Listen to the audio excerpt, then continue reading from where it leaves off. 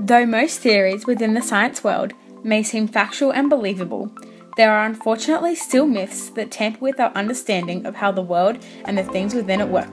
For instance, a little bird may have once told you that your blood, when in the body, is blue, and it only turns red when it breaks through the skin and is immediately oxidized by the air around it.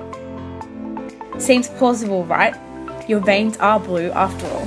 Well, think again, because it's simply not true. In actual fact, blood is always red, whether it's inside or outside the body.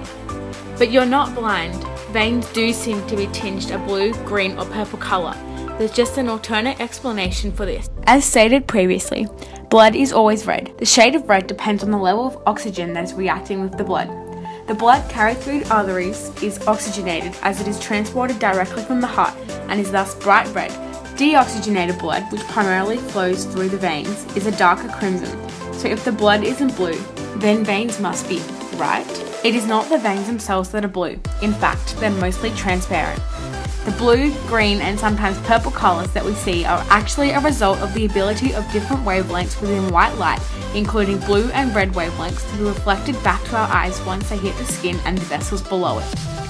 We don't perceive red light simply because it doesn't bounce off of the veins and arteries. Blue light does and reaches our eyes. This is due to a variety of factors. For example, blue light does not penetrate human skin as deeply as red light does. Whilst red light becomes trapped deep within the skin, Blue light hovers just under or even atop the surface, easily reflected by the skin and veins. Regardless of skin colour, red light is often absorbed by the veins themselves.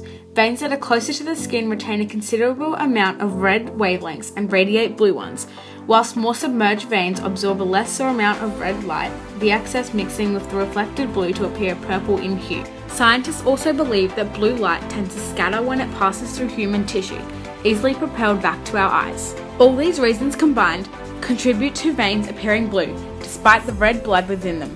Now you can go and impress your friends and peers with this bizarre phenomenon and help debunk the myth about the colour of the liquid that keeps them alive.